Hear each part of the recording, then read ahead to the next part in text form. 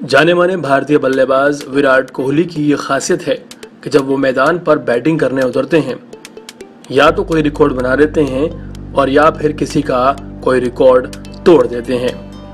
लेकिन हाल ही में विराट कोहली का एक इंटरव्यू बहुत ज़्यादा चर्चाओं में आ गया है। हाल ही में भारतीय फुटबॉल टीम के कप्तान सुनील छेत्री के सोशल मीडिया अकाउंट पर लाइव बातचीत में विराट कोहली ने एक ऐसा खुलासा किया है जो वाकई चौंकाने वाला है। भारतीय टीम के ज़बरदस्त कप्तान विराट कोहली वैसे तो अक्सर चर्चाओं में बने रहते हैं, लेकिन इस बार सुनील छेत्री के साथ जब वो इंस्टाग्राम पर लाइव आए तो कुछ ऐसी बात हुई जिसके बाद वो चर्चाओं में आ गए। विराट कोहली ने सुनील को बताया कि एक बार ऐसा समय भी आया था जब स्टेट सिलेक्शन के लिए उनके पिता से एक मोटी रकम रिश्वत के तौर पर मांगी गई थी।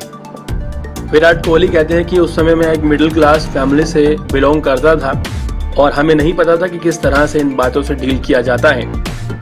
विराट कोहली के पिता एक वकील है पेशे से और उन्होंने उस रिश्वतखोर को कुछ ऐसा जवाब दिया जिसके बाद उसके पास शब्द नहीं थे बोलने के लिए। विराट कोहली ने अपने इंटरव्यू में बताया कि मेरे पिता ने कोच से कहा कि अपने दम पर ही मेरा बेटा कुछ हासिल कर लेता है तो ठीक है और अगर मुझे रिश्वत देनी पड़े तो नहीं खेलना है इसे। ऐसा कहकर उन्होंने रिश्वत देने से साफ़ इनकार कर दिया। विराट कोहली की किस्मत अच्छी रही कि रिश्वत ना देने पर भी उनका सिलेक्शन हो गया। लेकिन ऐसे बहुत से, न जाने कितने ही विराट और होंगे जिनका सिलेक्शन शायद नहीं हो पाया होगा।